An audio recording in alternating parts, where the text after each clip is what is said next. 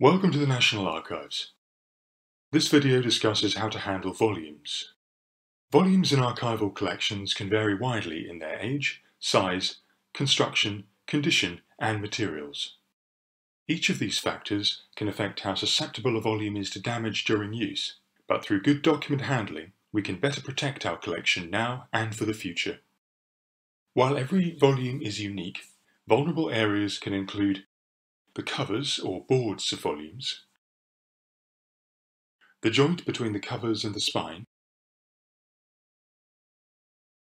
the spine and sewing structure, particularly where the spine of volume has become loose, the sewing structure which, if damaged, can lead to loose pages that can easily move or fall out. Good document handling involves protecting and supporting documents while you use them. When handling any archival document, it's important to take your time, to pay attention to vulnerable areas, to have clean hands, and to think about the space, assistance, and handling aids needed.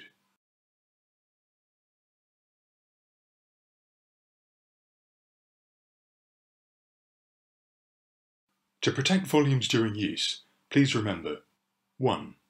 Volumes may be housed in tight-fitting boxes. To safely remove a volume from a tightly fitting box, First remove the lid, then carefully turn the volume and box base over together onto the tabletop. Remember to support the volume throughout. 2. Open volumes only as far as you can without forcing them, and they should never be laid flat on a table surface.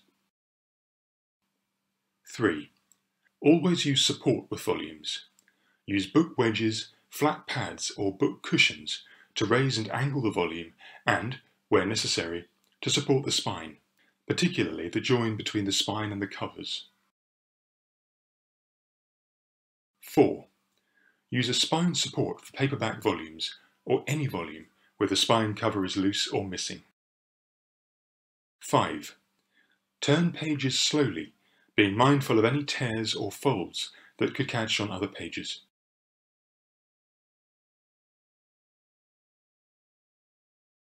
6. If necessary, place snake weights across the corners of the pages to hold them gently in place, avoiding areas of text. Bag or glass weights are not suitable as they may slide down an angled page and cause damage. 7. Avoid touching the printed surface of the page. Use a paper marker to follow the text instead of fingers. 8. Check your supports regularly as you move through a volume and make adjustments as needed to make sure the volume is properly supported.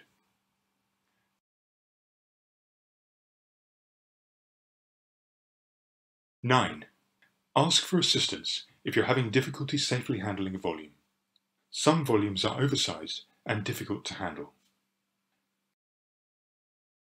As with all archival documents, please return your documents in the same condition as you received them. And if you have any questions, our reader support team will be happy to help at any time.